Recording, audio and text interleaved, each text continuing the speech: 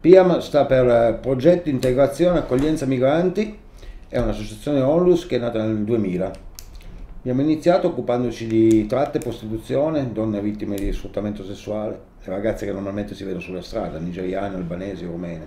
E abbiamo aperto così prime, la prima casa d'accoglienza per donne vittime di tratta, abbiamo iniziato con donne nigeriane, poi dopo donne albanesi, rumene, moldave, thailandesi e via dicendo. Nel tempo questa attività è cresciuta molto e da una piccola casa abbiamo strutturato dei progetti, facciamo parte della rete antitratta nazionale, appunto facciamo unità di strada, usciamo, andiamo per strada, contattiamo le donne, diamo loro informazioni sociosanitarie, accompagniamo a fare gli screening eh, medici e poi c'è tutta la parte di sgancio dallo sfruttamento, perciò le, le case protette, le case di fuga, eh, il riconoscimento dei documenti, l'accompagnamento verso l'autonomia e, e via. Siamo stati anche a fare questa attività per 5 anni in Nigeria, eh, anche perché eh, lo staff, l'equipe antitratta che abbiamo è composto all'80% da ex vittime di tratta che sono diventate operatrici e lavorano nei progetti e si prendono cura di altre donne. Eh, tre di queste sono nigeriane, perciò è stato anche abbastanza facile e naturale andare poi dopo in Nigeria a riproporre questo tipo di, di, di attività che facevamo qua nei bordelli di Benin City, di Lagos e di altre cose. E poi l'accoglienza è andata avanti e nel 2014 sono stati grandi sbarchi di profughi rifugiati, noi avevamo già 3-4 anni che avevamo iniziato a lavorare sull'accoglienza anche di richiedenti asilo rifugiati, il sistema SPRAN, e da lì c'è stato proprio la, un, un, cambio di salto, ma non dovuto da noi, perché gli eventi, le situazioni, cioè, la politica, di, di, i fenomeni sociali di quegli anni sono esplosi e noi dovevamo in qualche maniera dare una risposta, siamo stati chiamati a dare una risposta anche all'accoglienza.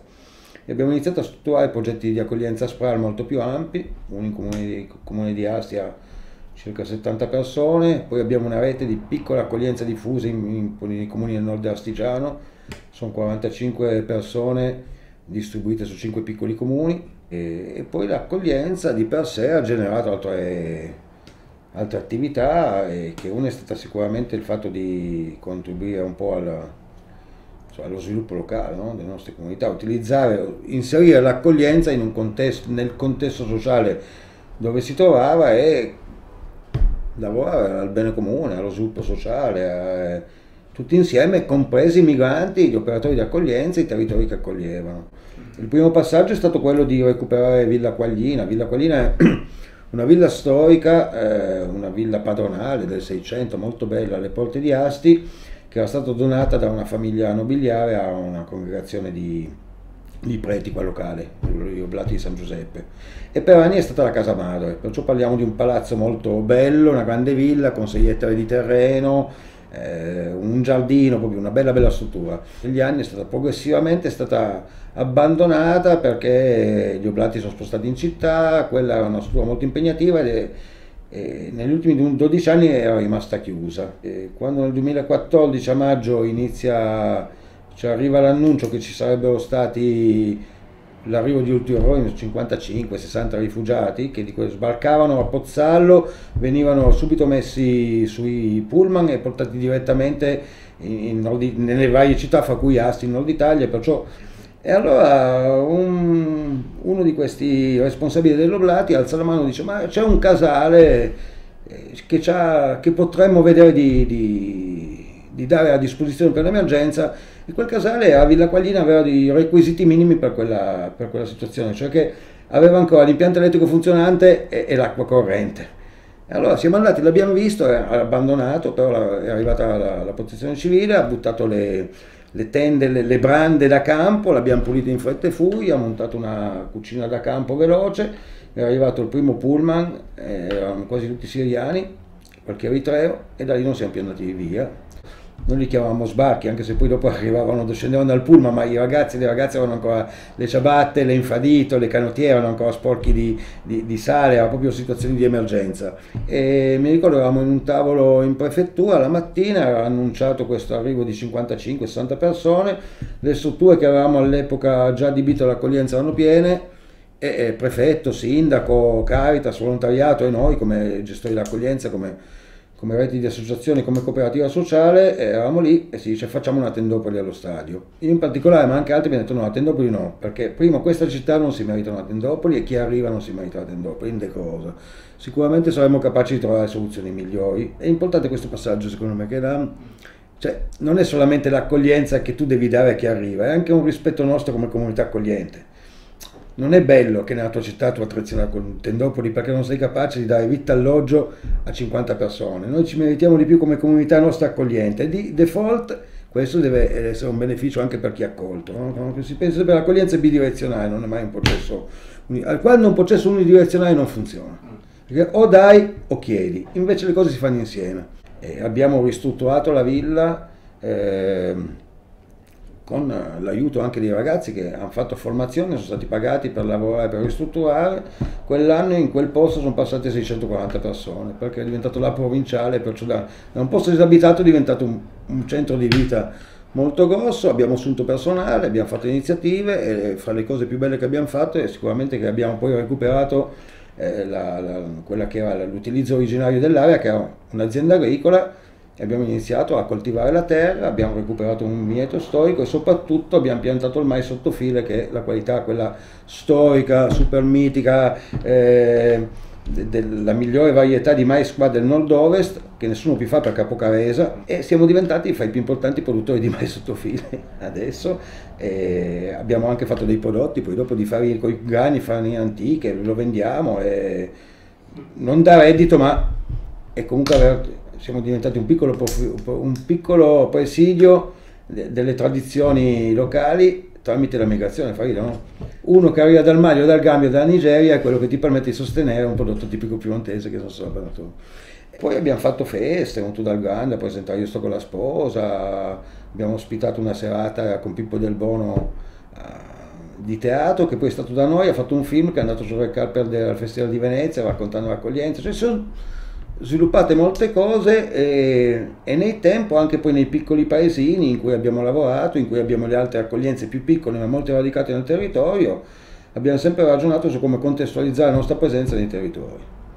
E la chiave è questa, che eh, le migrazioni, eh, le migrazioni grazie anche all'accoglienza possono essere, anzi sono sicuramente un processo generativo di sviluppo locale questo l'abbiamo capito e questa è la linea in cui ci muoviamo. Perciò non ragioniamo neanche più tanto di accoglienza ma quanto di sviluppo locale e, e la nostra funzione è quella di capire gli sviluppi, del, i bisogni del territorio, interfacciarli con eh, i bisogni e le risorse che porta l'accoglienza e con questo pensare a qualcosa di, di, diverso. Allora poi dopo abbiamo aperto anche delle case madre bambino per prendersi cura delle, delle donne migranti con figli che a loro volta sostengono, collaborano con i baby parking, le scuole del territorio eh, abbiamo iniziato con, soprattutto nei paesi con i ragazzi accolti nell'accoglienza a collaborare con eh, le amministrazioni locali eh, per la messa in sicurezza del territorio, la manutenzione stradale, la pulizia e via dicendo.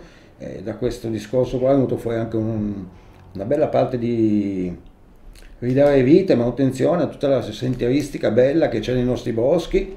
Abbiamo ragionato con 15 comuni, abbiamo creato questo progetto 8 che sono 96 km di sentieri nei boschi e nelle strade che abbiamo mappato e stiamo ripulendo grazie anche al lavoro dei, dei rifugiati ed è qualcosa che da sviluppo locale, perché la senderistica porta turismo, comunque benessere ed è fruibile a tutti e non è legata alla migrazione. Ultimamente stiamo lavorando molto sull'educazione ambientale perché eh, anche lì, come era successo in passato in Villa Quaglina, nel comune di Castelleo c'era un bello spazio ma abbandonato, che era un, un lago adibito alla pesca sportiva, un bel parco con anche una, una stalla con 15 asini ed era in, quasi in abbandono. Il sindaco ci ha chiesto di occuparcene, l'abbiamo presa, rilevata e adesso lì facciamo attività con gli asini, pet therapy, circolo di pesca sportiva e un bel parco per fare educazione ambientale dove lavorano anche i ragazzi dell'accoglienza, ma non solo, e l'accoglienza non è più il centro di quello che facciamo, ma è qualcosa che ha permesso anche di spostarsi su altre aree.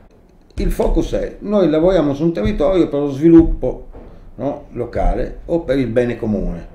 E chi c'è c'è, chi c'è fa, se in quel momento c'è una ragazza nigeriana, una moldava, un somalo, o un anziano italiano, o una maestra, o un gruppo di mamme, non, non importa, no? si lavora. È ovvio che in questo contesto le migrazioni, se ben contestualizzate, sono un supporto in più, è una risorsa, perché tu non è che vai, si pensa sempre a una logica predatoria rispetto all'immigrazione.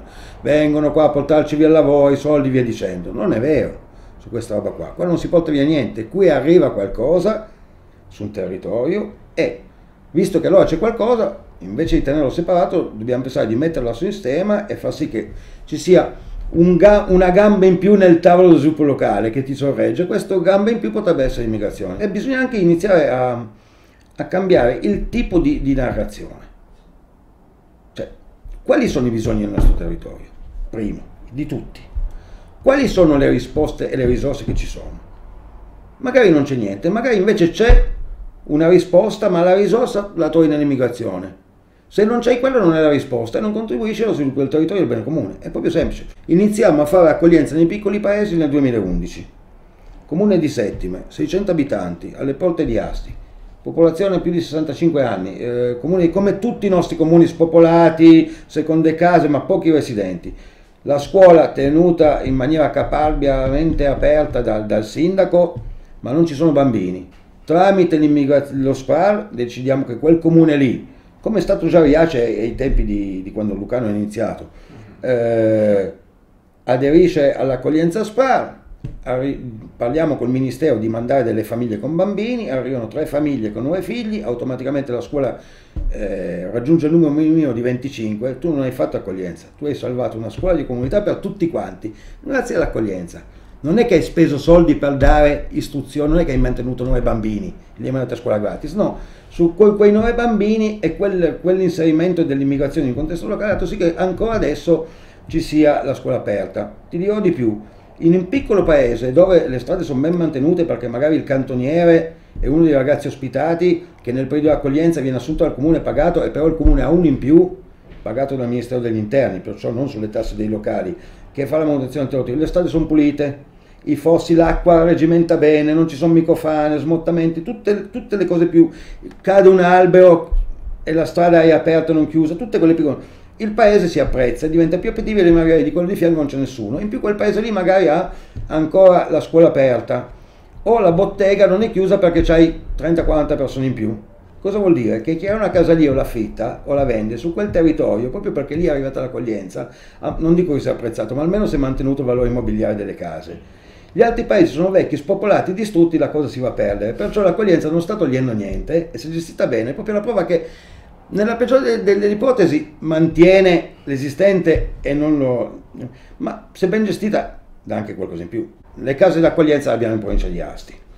Poi sulla questione della tratta lavoriamo a livello nazionale, a volte anche transnazionale, fra progetti e reti, perché abbiamo veramente una grande esperienza, abbiamo alcuni operatori e colleghi che sono arrivati anche a non so per dire, non so, la, la, la, Pontificia Accademia di Scienze Sociali eh, sovente ci chiama come consulenti sulla tratta, eh, mentre invece su, per quanto riguarda la, la parte invece dell'accoglienza, facciamo parte dello SPAC, che è una rete nazionale, ma lavoriamo in provincia di Asti.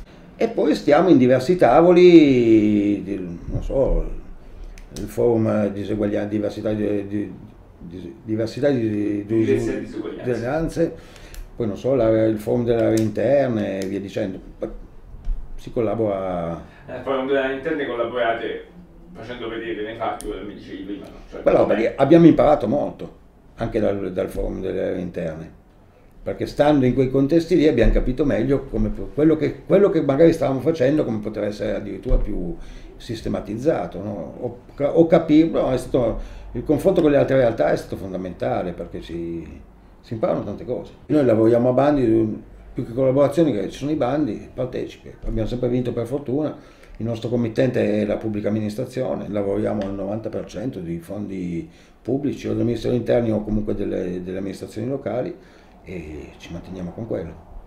Allora, noi sulla tratta tendenzialmente siamo, eh, vabbè, innanzitutto sono vent'anni di esperienza, vent'anni di esperienza ti fanno, in qualsiasi cosa. Già solo il fatto di aver avuto continuità di operatori e conoscenza del fenomeno, questo è tanta esperienza. Poi abbiamo iniziato, ti dicevo, nel 2000, eravamo in quattro, eravamo due operatori maschi e due, operatori, eh, due, due operatrici eh, donne, e erano una albanese, poi è arrivata una moldava e una nigeriana, che erano ragazze che venivano dalla strada.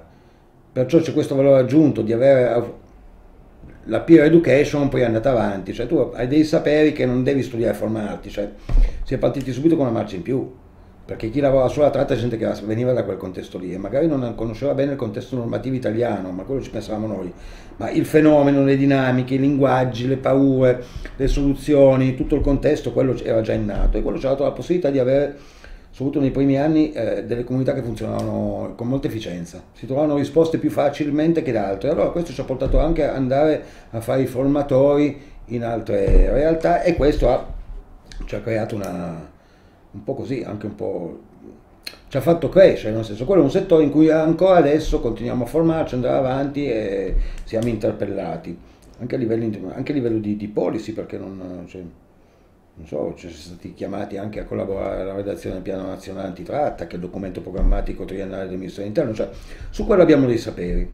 Su come è cambiato il fenomeno, su cosa sono le difficoltà, le difficoltà sono sempre queste, il grave sfruttamento, la riduzione di schiavitù, cioè quello non cambia mai sono cambiati magari i modi, ma non, purtroppo non è cambiata la, la, condizione di base. La gente scappa per miseria e per, quando scappa è, tendenzialmente è un po' disposto a tutto e in quel tutto il, prima, il, prima, il primo gradino del tutto è lo sfruttamento, sempre, mai niente gratuito, regalato e dato. C'è sempre qualcuno, qualcosa che ti porta allo sfruttamento. Poi dallo sfruttamento in poi ci sono tutti quanti i processi di sgancio, fino ad arrivare ai percorsi di autonomia, ma fondamentalmente riduzione in schiavitù era, riduzione in schiavitù è rimasta, da lì non si scappa.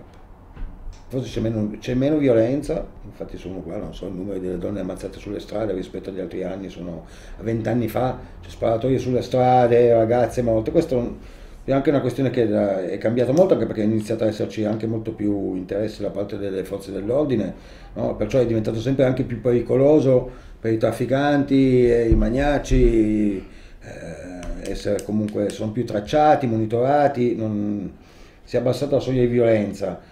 Eh, le forme di sfruttamento però sono tantissime, anche più le minacce magari sono nei paesi di origine, sono psicologiche, di varia cosa. Il problema è la povertà quando tu hai tanta gente povera e senza futuro e un bel network eh, organizzato che sa venderti ma proporti fattivamente l'ipotesi che tu ce la puoi fare, no? tu vieni da me, io ti porto in Europa. No? E troverai lavoro e soldi, eh, perché poi i trafficanti è gente che ha fatto quello dieci anni fa, non è che sono nati trafficanti, no? Allora uno dice, ma se ce l'ha fatto lui o se ce l'ha fatto quella donna ce la posso fare anch'io. E poi quando si arriva qua si trova invece nelle, in, in, questo meccanismo perverso dello sfruttamento che è anche vero che però maniera, nel momento in cui uno smette di essere sfruttato può diventare a sua volta un sfruttatore, perciò diventare ricco come quella persona che ti ha ingaggiato, cioè un circolo perverso, è un franchise in questo. Eh. Tu arrivi, io ti porto, mi paghi il debito, pagato bene il debito, io ti inserisco nel circuito, a quella volta sarai tu che venderai questo pacco a qualcun altro che poi venderà il pacco un'altra volta e, e quella roba lì non... Però, cioè, alla fine eh, c'è tanta, tanta, tante chiacchiere, tante chiacchiere, qua il problema che c'è, poveri poveri assenza di futuro, quando sei in quella condizione lì rischi tutto, ne rischi tutto, come dicevo prima, c'è sempre qualcuno che ne approfitta e ti inserisce nella catena di sfruttamento, è proprio è lineare, non c'è bisogno di fare troppe discorsi intorno. Quello che è cambiato molto è che io prendiamo ad esempio la mafia nigeriana che è quella che io conosco meglio, eh, negli ultimi 30 anni qua in, in, Europa è diventata una mafia vera e propria, cioè il Ministero dell'Interno dopo le quattro italiane, no, la, l'unica straniera riconosciuta come mafia 41 bis è quella nigeriana. Perciò una volta, vent'anni fa, c'era la madame cattiva che picchiava la ragazza e la prendeva a sberlone e mandava sulla strada, adesso è un network che non sai neanche più chi è sta madame. E sei dentro una cioè le mafie sono molto più, più strutturate. Tant'è vero che adesso, quando si indaga sul traffico di esseri umani, la direzione investigativa antimafia, non è più il comando locale dei carabinieri, è proprio cambiata la dimensione. Dal punto di vista progettualità, quello che stiamo facendo ormai sistematicamente da 3-4 anni non è tanto la conduzione di terreni agricoli, quanto la formazione in agricoltura, è, una, è, tutta una serie di attività anche di contatto, di matching di informazioni così legati un pochettino a, al contrasto al caporalato e allo sfruttamento. Cosa vuol dire? Che i ragazzi stanno in accoglienza stiamo, facciamo tanta formazione e tanta di questa in agricoltura.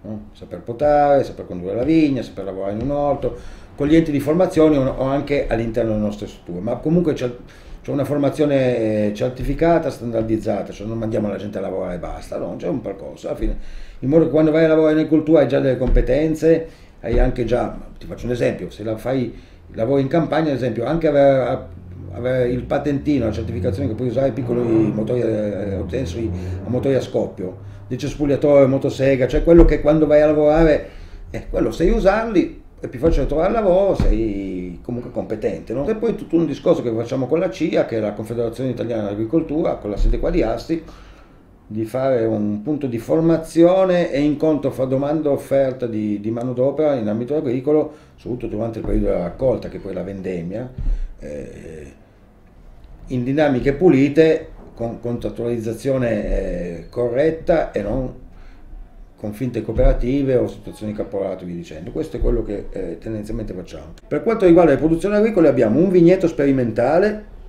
che abbiamo recuperato il vecchio vigneto di Villa Quaglina e abbiamo fatto un vigneto, eh, questo è un vigneto didattico, produciamo pochissimo vino. La cosa buona è che abbiamo, abbiamo un accordo col Penna, l'Istituto Agrario Penna, che anche gli studenti di questo istituto vengono nella nostra vigna insieme anche ai ragazzi rifugiati a fare scuola, perciò è diventato un vigneto didattico, anche lì l'abbiamo restituito alla cittadinanza, perché non è il vigneto dei profughi, le vigne adesso non ci sono più, le vigne sono lontane, questo è uno dei pochi vigneti ancora alle porte della città che noi abbiamo restituito a tutti gli studenti di enologia. Poi l'altra parte interessante è quello dei mais, del, del mais sottofile, che ormai coltiviamo da tanti anni, eh, abbiamo fatto anche la conversione al biologico dei terreni, e, nella rotazione mai sotto file per fare appunto la, la farina da, da, polenta, ma anche poi dopo grani antichi, senatore per Cappelli, il Verno, il Bologna, eh, abbiamo fatto un giro anche di canapa, l'anno scorso girasoli, comunque sono grani antiche e mai sotto file, quello che facciamo in maniera le nostre produzioni. Abbiamo un marchio che si chiama I Campi di Villa Quaglino, un sito web, vendiamo online, vendiamo qua ad Asti sicuramente, ma non abbiamo punti distributivi, ma sono, non sono produzioni gigantesche, sono produzioni, però il discorso non è tanto quello, è dimostrare che l'accoglienza appunto non toglie ma mette e nel caso quello noi abbiamo i migliori ristoratori qua dell'Astigiano che vengono e prenotano la nostra farina perché è un prodotto di eccellenza. Allora dall'accoglienza tu puoi fare delle cose di eccellenza e di lusso se vuoi mangiare la meglio farina che c'è in questo periodo astigiano,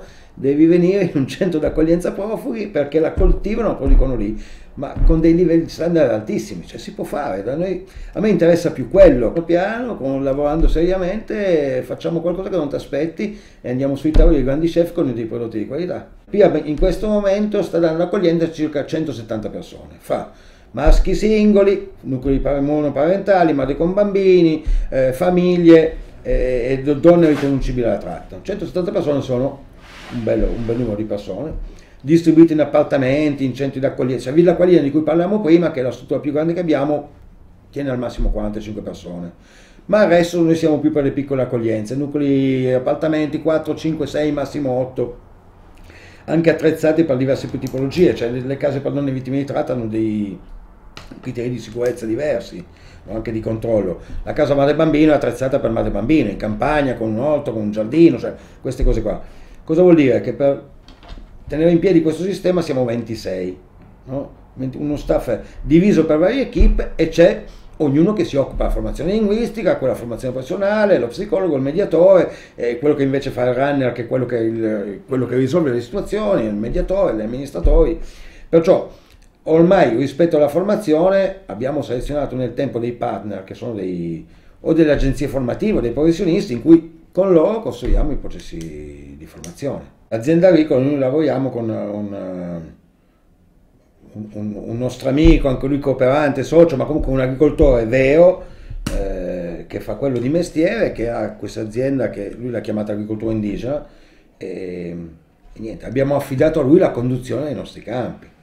E lui fa, lavora, insegna, ma è un contadino, un agricoltore che lavora nelle nostre terre e condividiamo insieme tutto il progetto, ma non siamo noi che andiamo, io non vado sul trattore, neanche i miei colleghi. Facciamo tanta formazione in cucina con, con, qua, con Silvio Francese, un ristoratore molto importante di Asti, lui tre volte l'anno gli commissioniamo dei corsi di, di cucina e le ragazze soprattutto vanno da lui e lui gli insegna nel giro di due mesi a diventare un aiuto cuoco pronto per andare a lavorare in ristorante, cioè non facciamo noi la formazione, no?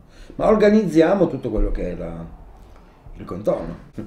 Facciamo, ci chiamiamo progetto di integrazione, accoglienza migranti, se uno pensa a Salvini siamo proprio all'opposto, sì, siamo stati danneggiati tanto perché non ha...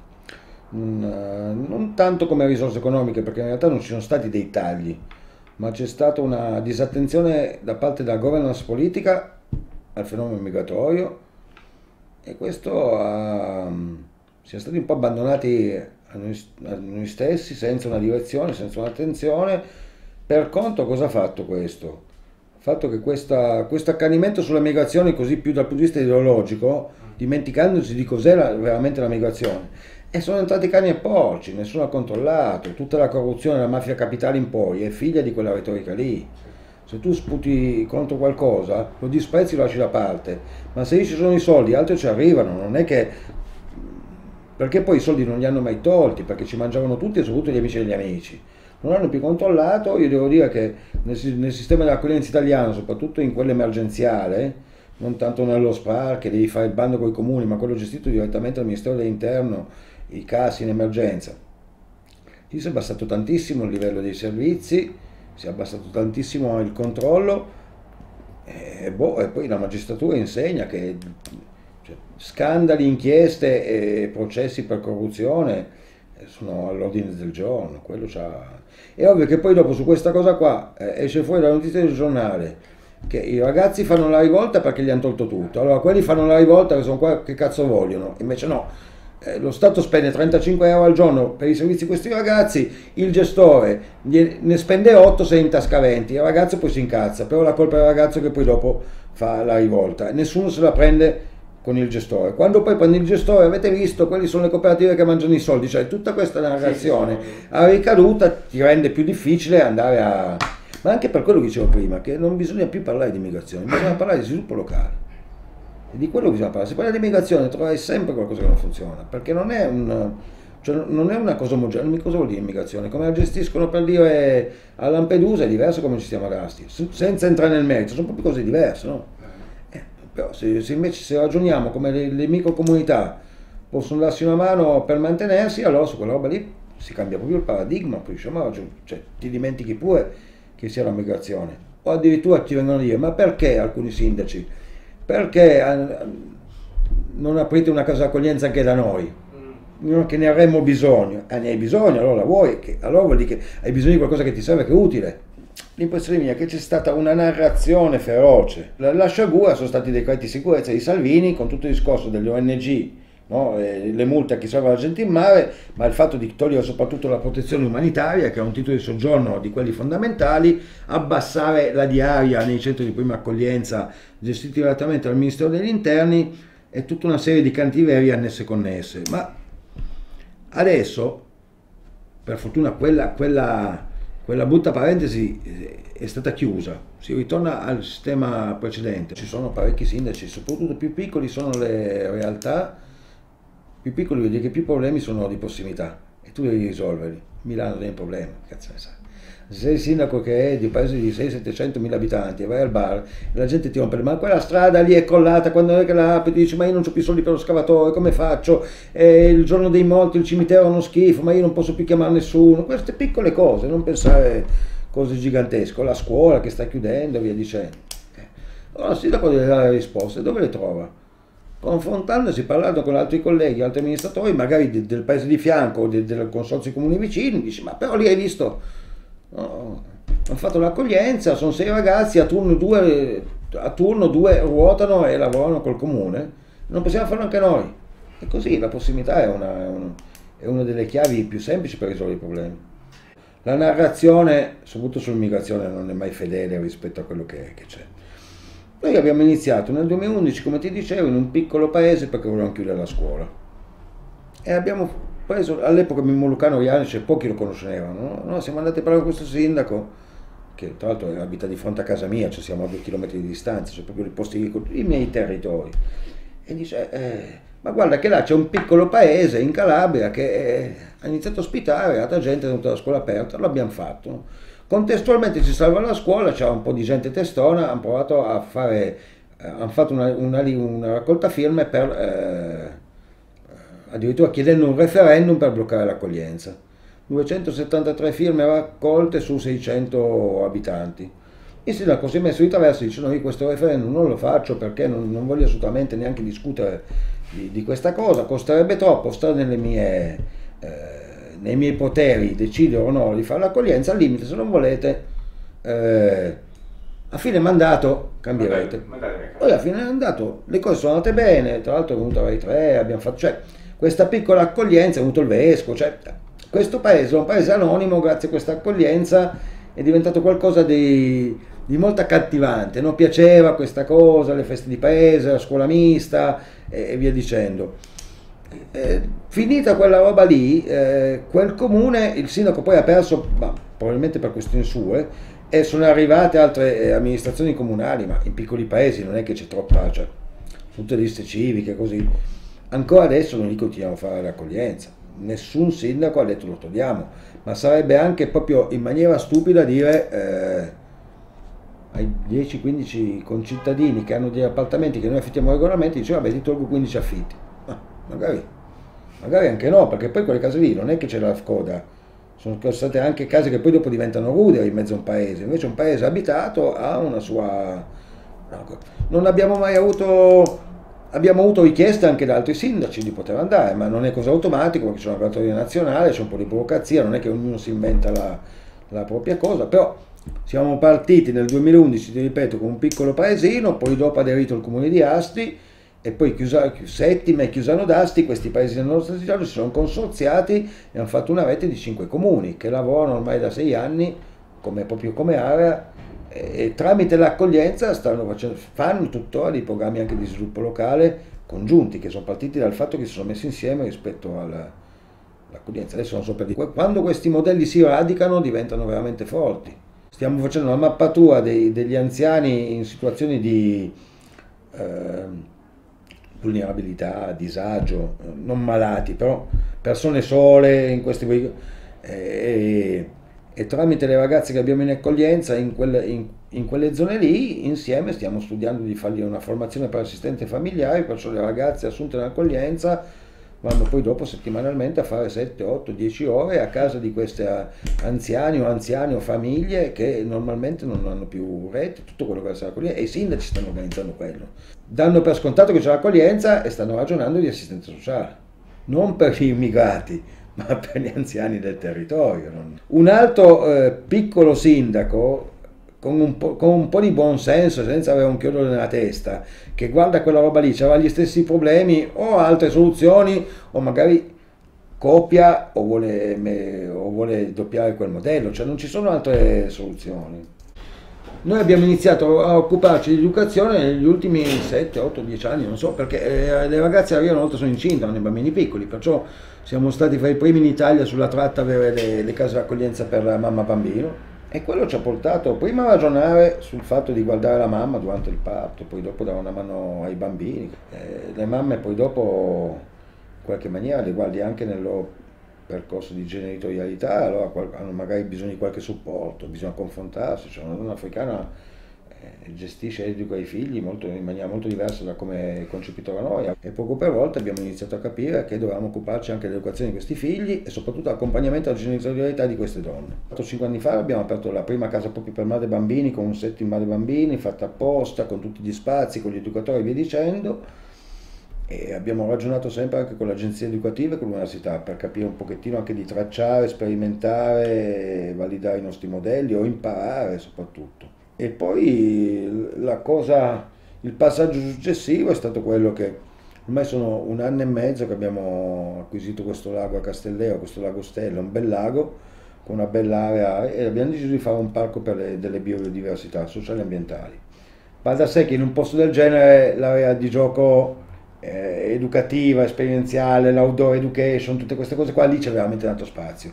Ci sono gli animali, il lago, il parco, stiamo parco gioco didattico, cioè è diventata una cosa importante su cui stiamo investendo tanto e abbiamo già anche proposto dei, dei laboratori, eh, delle giornate laboratoriali per bambini che vengono con gli educatori, che fanno un po' la filosofia è quella dell'outdoor education. E, però sempre di più quello che stiamo facendo è fare questa attività di outdoor, ma con e insieme anche con e perché, perché no, con i bambini, con i figli delle nostre comunità. Perciò tu fai l'outdoor education, fai il laboratorio, l'asilo nel bosco, e vengono i bambini eh, ma ci vanno anche i bambini che sono i figli delle nostre comunità, perciò li si sta mischiando, sono contesti interessanti perché c'hai una filosofia educativa, ma c'hai un contesto di riferimento che non è quello per cui quella filosofia è stata pensata, perciò ci sono degli innesti, degli intrecci molto interessanti e penso che sempre di più stiamo lavorando su questo. Tuo figlio va nel bosco a vedere la composizione del suolo e dei vermi, ma lo fa con un ragazzo,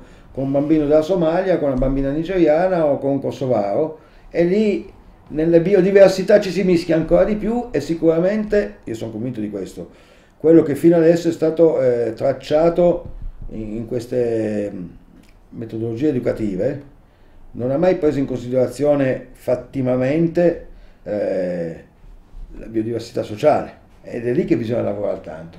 Almeno fondamentalmente questa storia dell'outdoor education è vero che è molto democratica, ma poi nei fatti non è, non è democraticamente accessibile. A me, noi stiamo lavorando, visto che le creiamo i nostri spazi, che sono di outdoor, ma, eh, ma anche di accoglienza, per noi diventa normale portare lì. Perciò l'osservazione di queste cose, secondo me, potrebbe anche nel tempo portare anche a una, a una narrazione un po' diversa, no? o che magari toglie ma aggiunge anche, perché no? Fare tutto dappertutto. Questo non è. bisogna contestualizzare sicuramente ma io ho visto che tante cose che facciamo magari hanno nomi diversi, ma poi la sostanza è la stessa, no? sono, eh, c'è sicuramente un'osservazione che abbiamo sempre fatto qua. Piccole dimensioni in realtà sono un vantaggio. Uno perché ti conosci. Due, eh, più piccoli vai, soprattutto nei piccoli paesi, non è la pressione della politica nazionale, ritorniamo a quello che dicevamo prima. La politica ha una narrazione, poi c'hai il problema reale la prossimità un buon senso. Un piccolo sindaco deve dare una risposta, non può menarla a fini elettorali. Il grande sindaco, prima di fare un passo, deve pensare che la narrazione non gli fa perdere voti e via dicendo. Perciò, allora c'è molto più spontaneismo, c'è anche molta più... Cioè per assurdo, nei piccoli posti è più facile, se ti viene un'idea puoi provarla. E secondo me questa è la risorsa grossa delle, aree interne. Quella che la, ormai la, la buona accoglienza e l'accoglienza diffusa cioè piccoli nuclei sparsi nei territori, ormai è una regola. Se guardavo adesso qua, l'Atlante SPAL del 2019, 830 comuni in Italia che fanno accoglienza. Se guardi, cioè proprio è bello, no? perché si vede proprio a macchia di, di leopardo, tutte, sono quasi tutti i comuni che stanno intorno da, da 0 a 5.000. Quello è, quello è la... Perciò è, è un sistema ultra ultra diffuso e, e sta in piedi. Noi abbiamo un piccolo paese dove facciamo accoglienza, dove cioè, l'anno scorso la proloco del paese, stiamo parlando paesi da 400 abitanti, eh? Proprio una collina, un bricco, comuni arroccati, fanno la festa del paese e un giorno della festa del paese la dedicano all'accoglienza, chiamano il Coromo, che è un gruppo nato negli ultimi anni di profughi richiedenti asilo, eh, quasi tutti africani, che cantano le canzoni in dialetto piemontese. Tu hai un paese che nella sua festa del paese dedica un giorno e paga un gruppo per fare quella roba lì dentro. Allora vuol dire sei proprio dentro la comunità, dove le madri vengono a portare i bambini a giocare nel nostro cortile con i nostri bambini, dove c'è tutta una serie di cose. Vabbè, e il comune promuove le attività, anzi ci chiede di collaborare sempre di più. Questa è la prossimità, perché ci conoscono. Poi fanno le elezioni politiche e in quel paese vai a la Lega prende il 43%, la Lega di Salvini. Ma è la stessa gente, eh? non è che c'hai il 40, non è che tu hai quella gente lì che sdoppia, no, ma, dice, no, ma i miei sono buoni, ma quelli, perché c'hai una narrazione tossica eh, dei talebani, dell'ISIS, degli stupatori, di tutte queste cose che non esistono. E uno pensa che quella roba lì arriva, tu c'hai già, tu non te ne accorgi che porti i tuoi nipoti lì, cioè da quello che è sbarcato l'anno scorso a Lampedusa, che tu adesso vorresti affondare, tu gli stai portando tuo nipote no, a giocarlo lì e lo lasci con quel bambino, con quella madre, magari lo lasci pure lì 3-4 ore, tanto lo guardano loro che sono bravi.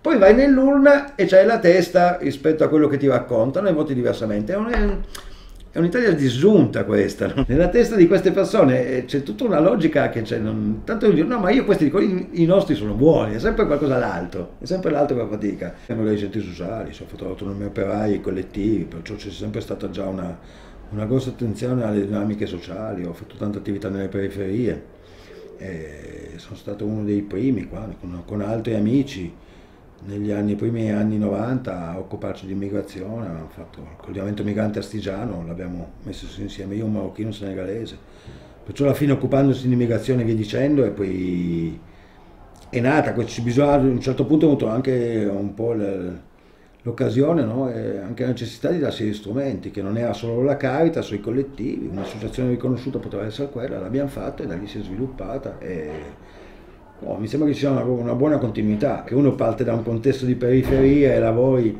su quelle che sono le disuguaglianze, le diversità e l'emergenza sociale e ritorni non più in periferia ma nei piccoli paesi a lavorare su quelle che sono le disuguaglianze, le diversità e l'emergenza sociale. E Basaglia è, è, quello che ha iniziato a pensare che, che, non, è, che non, esistono barriere fra, fra vulnerabilità che si può lavorare su una matrice comune che è quella della condivisione del benessere senza pensare che tu sei psichiatrico e tu sei ragazza madre e tu invece sei anziano, tu invece sei un cancro e tu sei un bigotto religioso e tu vieni dall'Afghanistan.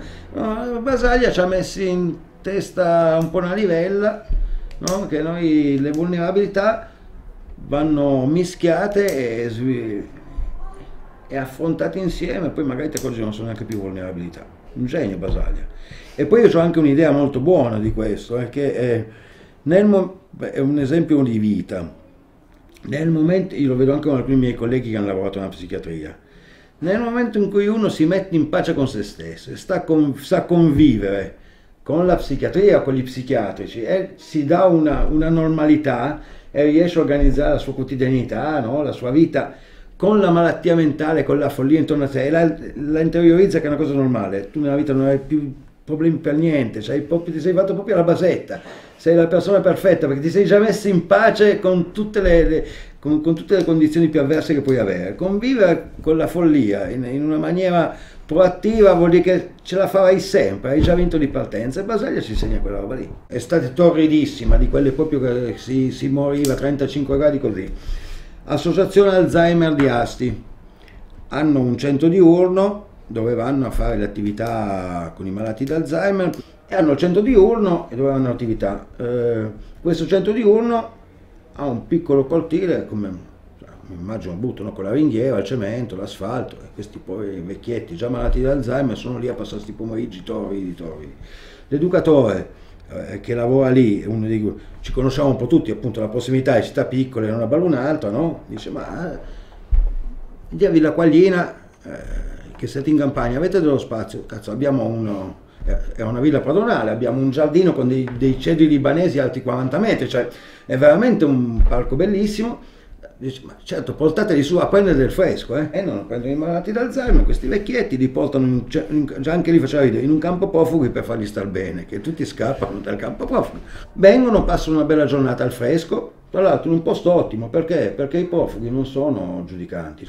Quel gruppo lì è venuto, è stato un bel pomeriggio, al fresco, si sono ristorati bene, ci hanno se potevano tornare. Allora così abbiamo fatto che settimanalmente tutti i giorni che avevano attività non stavano più al centro di urno, ma venivano al centro. E poi dopo lì si è iniziato a fare un po' di interazione. Hanno fatto body percussion, altre cose, c'è stata anche interazione con i ragazzi e hanno iniziato anche a, a fermarsi anche a pranzo. Perciò nella mensa del centro di accoglienza c'erano poi dopo i malati di Alzheimer che si fermavano. E poi sono arrivate le famiglie a dire però ma possiamo organizzare una cena anche per noi e scopriamo che c'è tutto quanto un discorso molto interessante eh, che è il disagio delle famiglie, dei familiari dei malati di Alzheimer. Noi non possiamo mai andare una volta fuori perché uno, un contesto giudicante, due, eh, si muovono, fanno casino, cioè, invece qua sono tranquilli, nessuno dice niente, anche noi famiglie possiamo venire, sederci al tavolo e fare una serata in pizzeria o, mangiare una cosa. E da lì è nata questa cosa, e, e perché gli interventi assistiti con gli animali?